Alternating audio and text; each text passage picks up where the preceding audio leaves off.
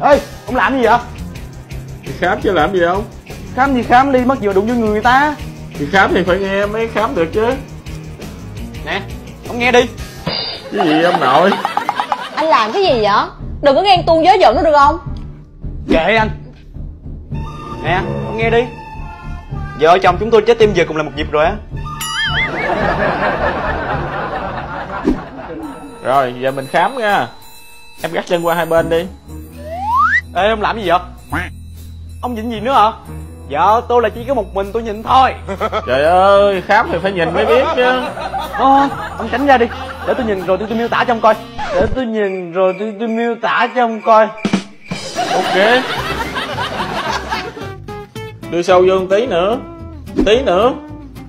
Rộng ra một tí nữa đi. Ây da! Anh làm tàu chết mới chịu hả